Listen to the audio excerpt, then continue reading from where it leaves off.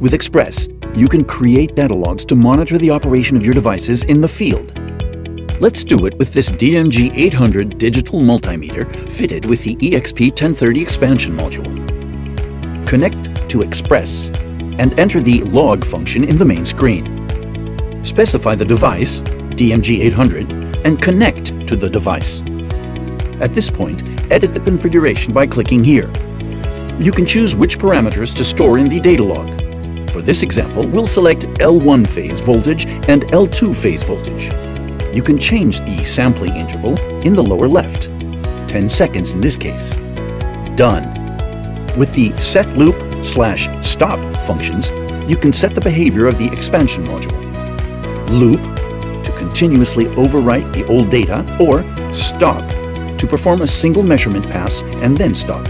With set start, you can make the data log always stay on or choose some variables listed here.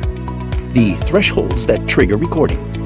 Now, send the configuration to the device by clicking on Write Configuration you can check the changes in the DMG 800 configuration directly on the instrument. The Run recording status confirms that the data log has started recording. To check the data, connect to the device again and read the configuration by pressing here. Here are our recorded phase L1 and L2 voltages. Click on Data, check the logging period, and then press Read Data to see the recorded measurements. Now you can export the results with the Export button. Xpress will create an easy-to-read Excel file to share with your colleagues. Or you can show a chart by clicking here to quickly view the recorded trends. That's it.